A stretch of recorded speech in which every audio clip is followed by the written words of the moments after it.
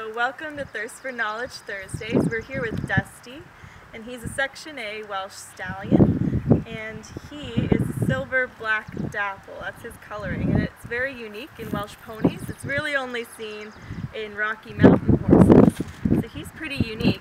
But he is very typical of the Section A uh, breed characteristics. So they were bred from the refined characteristics of the Arabian. So they're much more elegant. You can see he's got this nice small head, yet his forehead's pretty wide.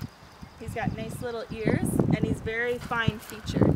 So he's used for riding and driving. Uh, that's his job. So he's going to a show this weekend,